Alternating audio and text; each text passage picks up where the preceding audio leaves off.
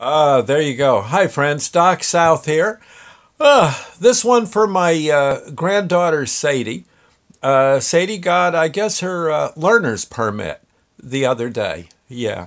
And uh, I was thinking back for myself uh, what that was like, and I, I thought I'd share some of my learner permit memories.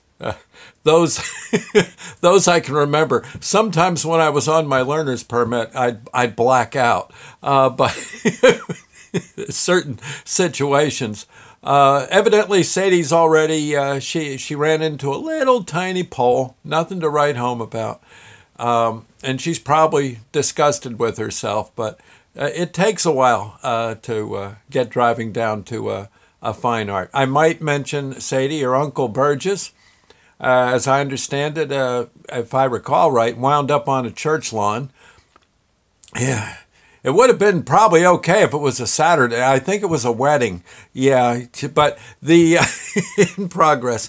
Uh, your your mom, uh, your mom. Let's see. I remember when she had uh, permission to drive the car, uh, and she already had her license. Uh, she her her her main phrase when she came in the uh, door after uh, out for being out for a drive was, "I'll fix the dent. I'll fix the dent. I'll work hard and fix the dent." And and and then she'd explain how well she just didn't mean to cut that guy off, you know, out on uh, uh, out on the interstate. Uh, the um, so it happens, and oh, I'm no exception. I remember my father. Uh, oh my gosh! Again, uh, for most of you know, my my father did fly fighter planes, uh, Corsairs, in uh, World War II. Uh, never got quite into combat, almost, and uh, he crashed a few planes. Yeah, and in some cases, man, he's lucky to be alive because man, he made a mess of those planes. Um, and it, this stuff happens. so driving around with me really wasn't that much of a deal to him. Yeah, heck, we're only doing 55, 60 miles an hour. Uh, I remember we're riding down one of the country roads in uh, Chester. Oh, before that, before I even had a license, I was like 15. Many a day after church, I'd notice I'd look at him and he'd be doing extra praying there in church. Now, at 15 was not a legal age to drive, but uh, he'd uh, he quite. Uh, but we Chester back then uh, was kind of a rural area. Um, I'd we'd we'd be after church. We'd get piling into the car, and he'd say, uh, "No, no, no, no. You're not sitting in the back. You drive. You're driving home." I said, "What? I don't have a license. Just so." and I'd have to get us home. Uh, yeah. He says you should have prayed harder. Let's go. Move it. I want to get home, see the ball game. Football's on. Uh, you know that. Yeah.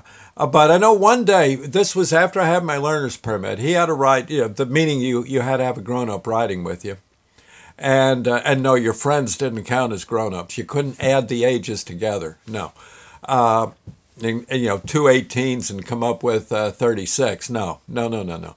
Um, but they uh, so he's riding along with me. He's in the he's riding shotgun. I'm behind the wheel, coming down a country road and we're doing. I think the speed limit was, uh, oh, I don't know. I, let's say it was 35. I'm doing about 50, and we're we're tooling along, and all of a sudden, oh my God, here comes a curve, and it's it's one of those old gravel roads, you know, where they used to put the tar, then the gravel. Well, I hit that I hit that curve, oh my gosh, spun out just like you know, just like AJ Foyt at uh, the Indianapolis 500. I just like that ice. Oh my God, I could have killed us. He says, "Yeah, you should have slowed down." I, yeah, I don't want to ever drive again. I got out of the car and uh, slammed the driver's door and sat in the back seat. He says, "What are you doing back there?" He says, "You get right up here right now, and you're going to drive through that turn again and again and again." till you get it right. He said, "Oh, geez,"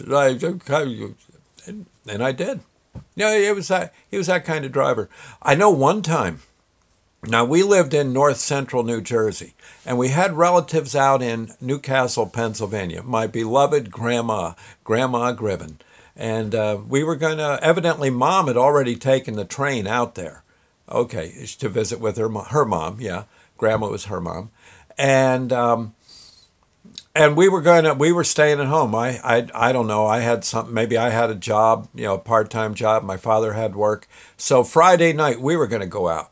And we were going to be out there for a, a few days and then bring mom home. And where uh, we uh, it was the uh, end of the work work day. So it was four or five o'clock in the afternoon uh, in chester. Now my grandma lived out in new castle pennsylvania which is about 50 miles north of pittsburgh Okay. Um, I noticed uh, he said, look, he, uh, I, I, so I, I get in the uh, passenger side, and I notice he's got a map on the uh, seat and all that. And I figured, gee, he knows the way to New Castle. What? He's been to Grandma's house lots. And uh, he says, what are you doing in the passenger seat? I said, well, I'm, I'm going to ride with you. No, he says, you're driving. In fact, you're driving the whole darn way. I said, through the night? Down down the Pennsylvania Turnpike with the tunnels and the and and I got to go down the I, I Route 22 through Easton. Oh my God! He says, "Yeah, yeah." He says, "You're going to do it." Uh, he says, "Now here's the map. Study the map. Get it in your head. We'll see." Uh, he, he climbs into the back seat and falls asleep, and I got to get us there. And he said, "Nope." He says, "You can stop to you can stop to pee. You can stop for a coffee, a hamburger." Uh, but other than that, you just keep right on rolling. You're going to get us there. and he said, I don't care if you wind up in Texas. We're going to, you're getting us to New Castle. And I'm going to keep my mouth shut. I took a few wrong turns. Yeah, yeah, a few wrong turns. But for the most part, I got us there. Yeah. It was kind of fun going down the uh, down the old turnpike, listening to Ray Charles and waving at the trucks and stuff. Yeah, well, they were kind of waving something else at me. Uh, maybe I was going a little slow. Uh, but other than that, uh, we did, we made it. Doggone if we didn't. Uh, yes, sir. It was, uh, was about 350 miles. I think it only took me a day and a half. no, I got there reasonably well. And you know something? I got to say, I got to hand it to the old man. He, uh, he really did it right. And uh, all in all, I've knock wood. I haven't been too bad a driver, I guess. So, for the most part, um, still got all my fingers and teeth. Well, not all my teeth. Actually, I did lose my teeth in a head-on, but that I wasn't driving. Yeah, I was. So I, I guess that don't count. Anyway, friends, I'll see you later. Uh, till we meet again, uh, treat each other kindly, especially on the highway, and uh, God bless. Sadie, keep up the good work. You'll be fine. We'll see you. Bye now.